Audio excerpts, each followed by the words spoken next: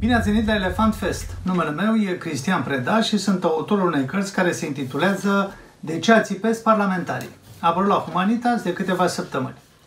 Ea cuprinde 19 întrebări pe care și le pun cetățenii atunci când vine vorba despre politică. De ce ațipesc parlamentarii e una dintre ele. Mai sunt uh, multe altele. Există vreun secret al reușitei în alegeri sau mai exact cum ajungi la Cotroceni? Cum te transformi din simplu cetățean în prim-ministru? Sau de ce avem atâtea partide? Cine e de dreapta și cine e de stânga? Unde sunt anti-europenii? Ce putere are presa? Și tot așa.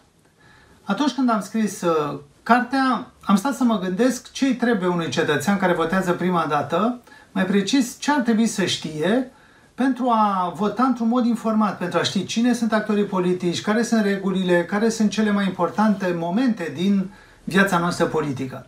Am căutat să deosebesc democrația și statul de drept, să explic de ce dintre cei 68 de doritori la funcția supremă în stat, doar 4 au reușit să ocupe fotoliul de la Palatul Cotroceni. Am evocat succesiunea de prim-ministri, perioadele în care uh, șeful guvernului a rămas un întreg mandat în fruntea executivului și perioada în care prim-ministrii s-au schimbat foarte frecvent. Am deslușit secretele formulelor electorale, ale modurilor de scrutin. Am portretizat actorii civici, nu doar pe cei politici.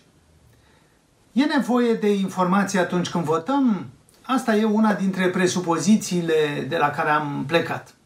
Și am încercat să dau răspuns întrebărilor uh, de la care am pornit, folosind instrumentele științei politice, folosind cu alte cuvinte conceptele, noțiunile pe care ni le pune la dispoziție disciplina care studiază viața politică.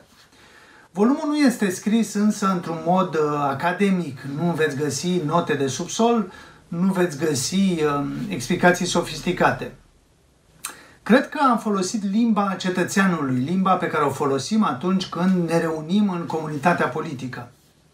Am folosit și experiența mea practică, de pildă vorbind despre cei patru președinți, n-am putut ignora experiența pe care am avut-o cu doi dintre ei, cărora le-am fost consilier. N-am fost însă pătimași. Nu veți găsi vreo urmă de partizanat.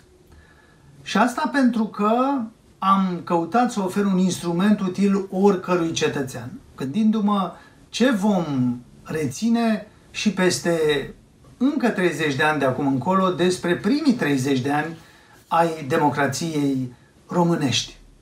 E un volum despre viețile noastre politice, ale celor care am trăit Revoluția, ale celor care au votat la 10 ani după Revoluție, ale celor de azi. Lectură plăcută!